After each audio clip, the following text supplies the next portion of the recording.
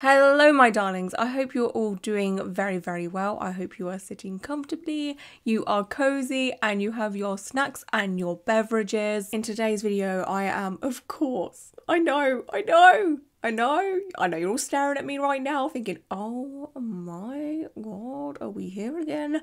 Yes, we are here again. We are talking about Tattoo Gate again. I'm so sorry, but I feel like I have been put on this earth to deliver you any updates. It's my duty, okay? It's in my DNA at this point. I am Tattoo Gate. I'm joking, I am not Tattoo Gate. I am not responsible for this in any way, shape, or form. I'm just here to deliver the tea and the news. So yes, we do have a Tattoo Gate update, but before we jump into all of that spicy tea, I am very happy to announce that this video is sponsored by Aura. Have you ever googled yourself and was shocked to see that your very personal information was exposed on those public listing sites? Now, there's obviously a lot of information about me online due to the nature of my job, and I am completely okay with that, but my super personal information I am not okay with. I've always been super conscious when it comes to internet safety, I am a kid of the 90s after all. I grew up as the internet become more and more accessible and throughout the whole of my life I have heard some horror stories when it comes to scammers and spammers. I feel like as every day goes past, scammers are coming up with new and more crafty ways to be more convincing and it's honestly super scary. Did you know that data brokers are making a absolute fortune by selling your personal information to robocallers, spammers, scammers. You know the people that just happen to phone you while you're halfway through your dinner and you look at your phone and it's a number you don't even recognize?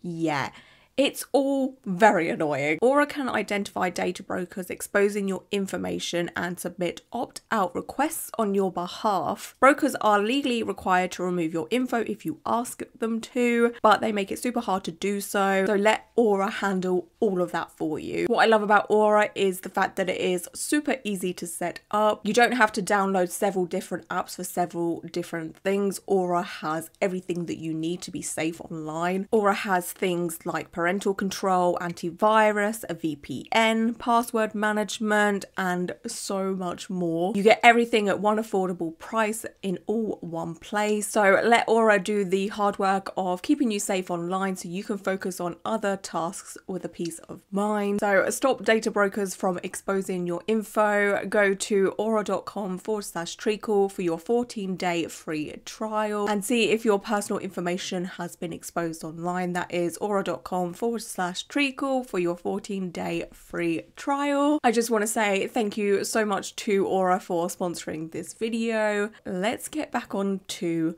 Tattoo Gate okay? So let's do a very, very brief and quick recap, just in case there's anyone that doesn't know what's happening or just a reminder to everyone. So back in May, a TikTok was uploaded by a very sweet lady by the name of Courtney. I always accidentally call her Christine and I don't know why. I don't know where that's come from because it's never in my notes.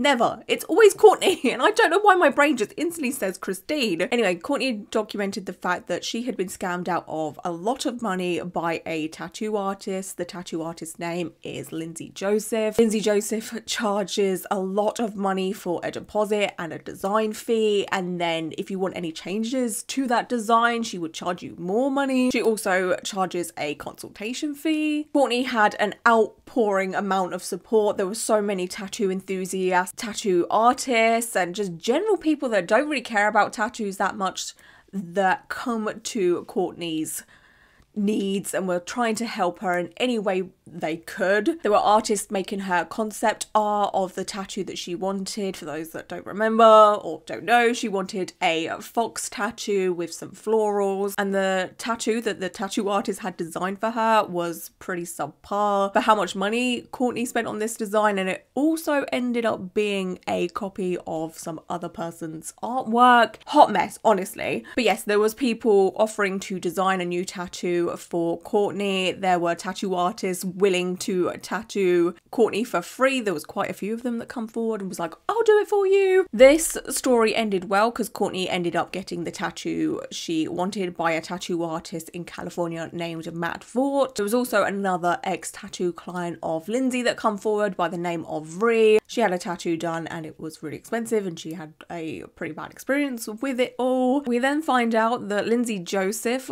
got the audacity to charge all of this money for her tattoos and the consultation fee from a once well respected tattoo artist by the name of Ross Abbott. Ross Abbott has a business called Launchpad, and this business is meant to help tattoo artists get the most from their businesses. So running the tattoo studio, making bookings, social media. Um, but he was basically out here trying to get people to charge as much as they most possibly can. He came forward with a half-assed apology video. It was all very strange, honestly. And then after all of that had died down, Lindsay started to take legal action against anyone that spoke out against her and their experiences with her. I think she tried to go down the defamation route, but because people were, you know, talking from their experience and they obviously had receipts and proof. Receipts, proof, timeline, screenshots, in everything. Of their experience with Lindsay, I don't think it would ever hold up in court. I'm not too sure again on what is happening with all of that, whether it's been dropped or not. And then it all died down once again until a lovely lady by the name of Teresa uploaded a photo series on TikTok about her experience with Lindsay Joseph. She was in communication with Lindsay before Tattoo Gate, but then got tattooed after Tattoo Gate, and she wanted to give Lindsay the benefit of the doubt. She kind of explained herself as wanting to be a unicorn. She wanted to help Lindsay out and all of that because the prior experience she had with her was excellent. She said, you know, she was really nice, great to talk to, and decided to get tattooed by Lindsay anyway, but it didn't all go well at all. Teresa ended up spending over $4,000 for a tattoo that isn't finished and isn't what she wanted. She kind of cut ties with Lindsay because the tattoo just wasn't going the way she wanted, and she thought it would be best just to leave the situation and leave Lindsay. So basically, long story short, a lot of scamming, lawsuits, just a lot of drama from one tattoo artist. Honestly, this is probably one of the biggest tattoo scandals of all time, and it's all had us in a little bit of a chokehold since this all started back in May last year. And I think maybe, possibly, we are now at the end. Maybe I don't. I don't know. Like who knows with this one. So I get a message from Teresa, who is the lady I was just talking about, saying that Lindsay has announced on Instagram that she is quitting tattooing and shutting down her tattoo studio. Yeah, yeah, she's taken this route, okay? So let's take a look at the design. We have some hearts, like watercolor hearts, and yeah, it's kind of cute or whatever. And it just says love in the middle of it cool, yeah, great vibes. and then in the caption, this is where it gets spicy. Uh, Lindsay said, Lucid Tattoos will officially close January 31st, 2024. So that's pretty soon. It would be impossible to express the heaviness of my devastation, but I want you to all know that I will be okay. Closing my studio and ending my career this way couldn't be worse. Any tattoo artist or anyone in general who has ever created their own livelihood out of nothing but their own two hands and fire in their heart will appreciate how much it took to even open those doors in the first place. This is like having to pull the plug on my own baby, but here I am, plug in hand, and it's going to be okay. I haven't had much power in this situation. But if I'm on a sinking ship, then I will be the person in the band still playing as the water pools at my feet. I. Uh, the thing is, nobody wanted Lindsay to eradicate herself from the tattoo industry. All we ever wanted from Lindsay was for her to hold herself accountable. Okay, come forward and say, well, yeah, you know what? I've really messed up here. I've been charging far too much for my tattoos. I've taken someone else's artwork. That's all we ever wanted. All we ever wanted was a statement or a video to say, yeah, I really messed up here. Just to have a, a, an ounce of accountability. But instead of doing that, Lindsay has taken the extreme route and been like, you know what? I'm closing down. I'm never doing this again. Could you imagine like working for so long to become a tattoo artist, to open your own studio and to throw it all away because you cannot admit that you are wrong? I cannot believe that. I just don't understand it personally. I know for some people it is very hard to take accountability.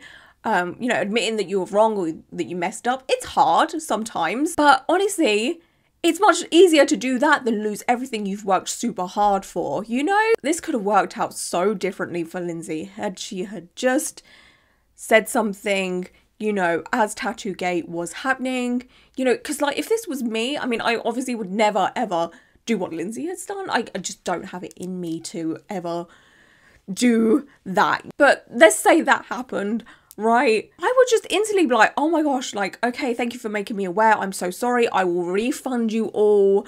And if there's anything I can help you with, let me know. Obviously, when you have wronged people, sometimes they don't want anything to do with you, which is understandable. But just like, like, uh. Then Lindsay goes on to say, for the month of February, I will be offering free memorial tattoos for anyone who has lost a loved one they would like to connect to perhaps writing from a card, a small flower, or something else. A one hour time slot will be offered. Just one hour. Oh, something is telling me that she would offer someone, you know, an hour time slot for free and then say she runs over, she'd be like, oh, look, we've run over, I'm gonna have to charge you now. And then you're stuck in that studio with this fresh tattoo that you now have to pay a little bit for, and actually, no, not a little bit, a lot of it. Like, this is just a recipe for disaster, honestly. The alternative offer is to make a heart connection with me. I have prepared a watercolor heart or the word love in any font. I am here to make this connection with you, to hear you, and to pray with you. I mean, this is just the strangest, you know, I'm out of here announcement I've ever heard. It honestly just feels a little.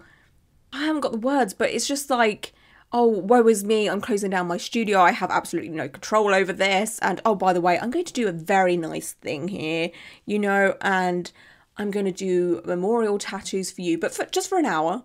What happens after the hour if we run over for whatever reason?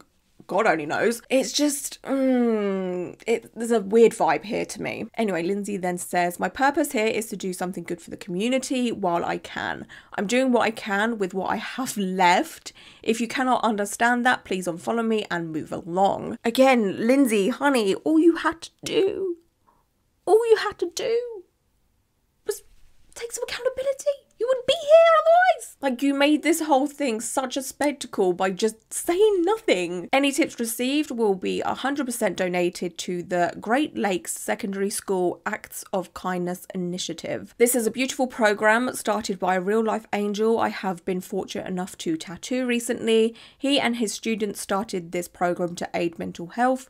They help families and people in need with rent, groceries, holiday gifts, and more.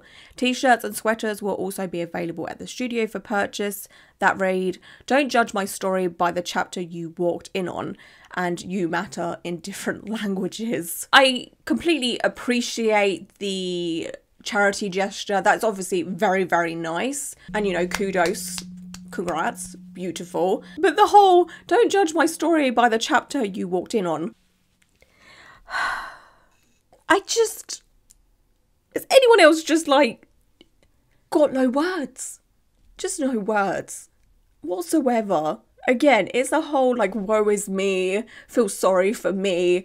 I'm going through a lot. This is only made possible by the generous donation of the studio space by Rick Murphy at D3 Artworks. I know this crushes him too, and he didn't hesitate for a moment when I asked. And it says, please email email address to schedule a time. This offer is limited to time and the supplies I have left. So this is basically Lindsay just using up everything that she has left from her tattoo studio instead of, you know, maybe giving it away to another tattoo artist or selling it or whatever. I don't know. It's just wild to me that she can do this and try and make people feel bad for her when there have been many clients, obviously some haven't even spoken up, or some just aren't aware that they have been scammed because there are a lot of people out there that don't really realize how much tattoos are meant to cost. You know, if you have absolutely no clue as to the average tattoo cost and you go to Lindsay, you're going to think it's normal, you know, like six grand for a sleeve from an artist that is okay. Like her work isn't the worst. It's not the best, but it's not the worst either. But she's not even like a celebrity tattoo artist. She doesn't have that many followers on Instagram. You know, the amount that she does charge is uh, just a bit audacious, to be honest. So let's take a look at some of the comments. This one says, I'm so sorry that it ended this way. People on the internet can be so cruel. I emailed for an inquiry. And while I agree with that statement that people on the internet um, can be cruel, um, so is scamming your clients out of thousands of dollars, you know, calling everybody a liar as well. Yeah, that's something she did. She called the people that come forward to talk out about their experience with Lindsay liars. Um, yeah, I wish I could have more sympathy for you for this, but when you scam two people, it's more than two people. I know out of thousands of dollars and left them with partially finished tattoos, it's really hard.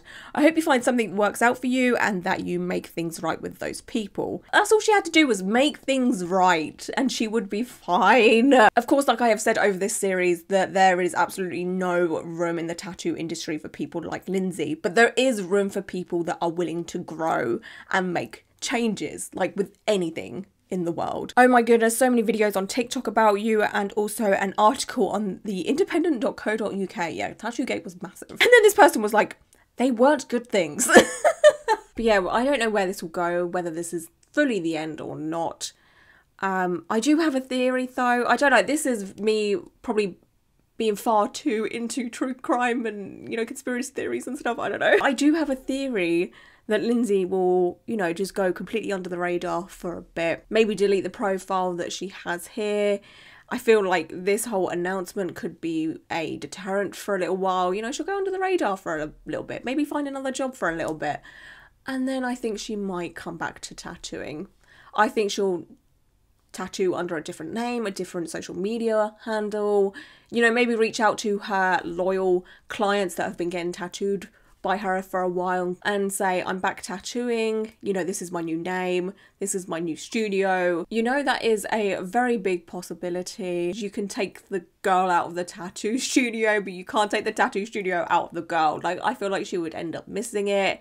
And maybe, honestly, a break would just do her good, just so she can reflect on everything that has happened and make changes when she does come back under a new alias or whatever. I don't know. Maybe I'm thinking too hard into this. I would love to know your thoughts and theories about it all. Or maybe this is actually it and Lindsay is fully throwing in the towel now and we won't ever hear from her again or see her again. It's sad that she is just calling it quits, not you know, refunded any of the clients that have had issues with her. She's kind of just like, bye, not my problem anymore, bye.